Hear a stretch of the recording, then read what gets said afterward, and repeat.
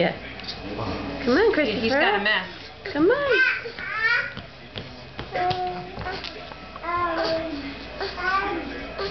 You're really making me work, Mom.